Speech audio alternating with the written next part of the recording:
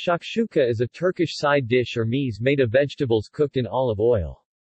The particular vegetable may vary from region to region, but eggplant is a common choice. In Balıkesir şakşuka is made with green tomatoes. The dish sometimes includes potato and peppers as well.